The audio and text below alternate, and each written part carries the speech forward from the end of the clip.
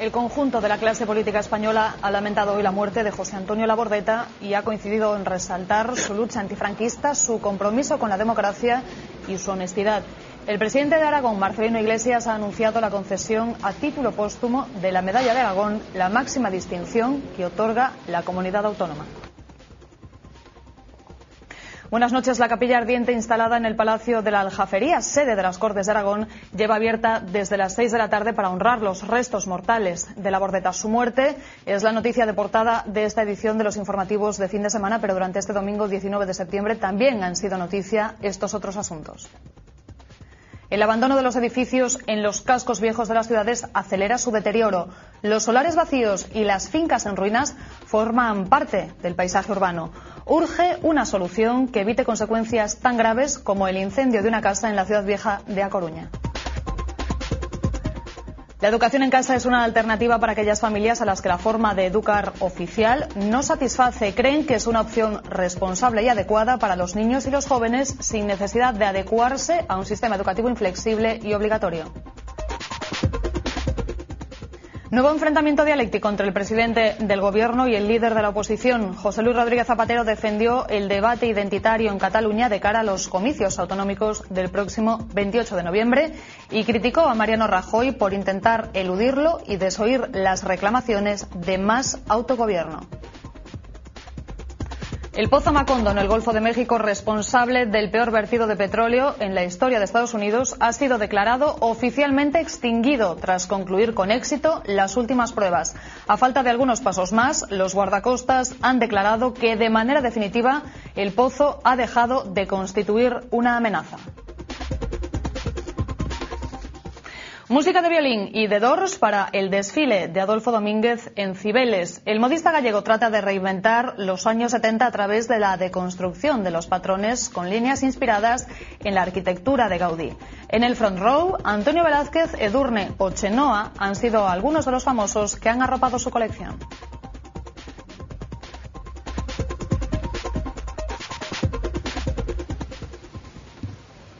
La capilla ardiente para despedir al artista político y profesor José Antonio Labordeta lleva abierta desde las seis de la tarde. Sus restos descansan en el Salón del Trono del Palacio de la Aljafería en Zaragoza ante familiares y autoridades.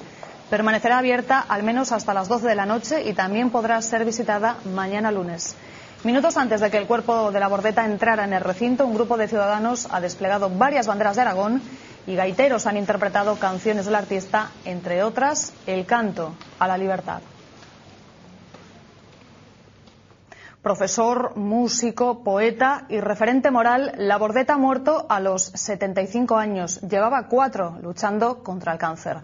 Zaragoza llorará durante tres días la pérdida de uno de los pocos políticos que han sabido hacerse querer. Cantautor, escritor, político y por encima de todo aragonés. José Antonio Labordeta ha fallecido a los 75 años en el Hospital Miguel Servet de Zaragoza por un cáncer de próstata. Esta semana había sido ingresado después de agravarse su estado de salud. Unos días antes, el 6 de septiembre, había recibido en su casa la Gran Cruz de la Orden Civil Alfonso X el Sabio de manos de los ministros de Educación y Defensa. Muchas gracias por vuestra benevolencia a mi persona, por vuestro cariño y sobre todo por vuestra amistad. José Antonio Labordeta ejerció la docencia durante 20 años. Lo compaginó con la poesía y la canción hasta que en 1986 decidió dedicarse por completo a su faceta artística. Militante activo, fue elegido diputado por la Junta Aragonesista para las Cortes Autonómicas en 1999 y en el 2000 para el Congreso. Fue el primer representante del CHA en la Cámara Baja. No hablo en nombre de Aragón. Hablo de Aragón porque, desgraciadamente, durante los últimos años Aquí en esta Cámara se ha hablado muy poco de Aragón, aunque haya... Habló y cantó en especial sobre Aragón. Deja numerosos discos y libros. El último escrito regular, gracias a Dios, sobre la enfermedad que padeció. Estaba casado y tenía tres hijas. Es una gran pérdida, es una gran pérdida para Aragón, pero yo creo que es una gran pérdida para toda España y para todos los que sentimos pensamos e intentamos practicar las ideas del progreso social en nuestro país. Se ha muerto la Bordeta, que es un gran amigo mío y gran, lo conocía mucho, gran aragonés, gran español, gran patriota y siento muchísimo su muerte y, en fin.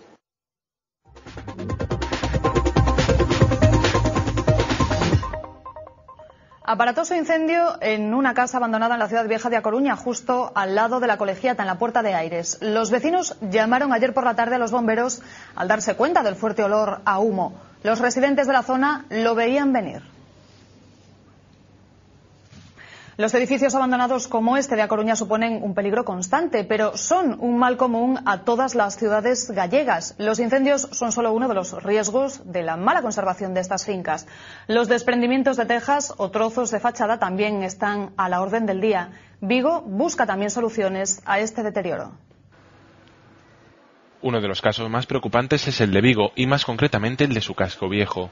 En los últimos años se ha trabajado mucho para mejorar el estado de la zona, rehabilitando edificios o instalando mecanismos de sujeción, pero es indudable que aún queda mucho trabajo por hacer.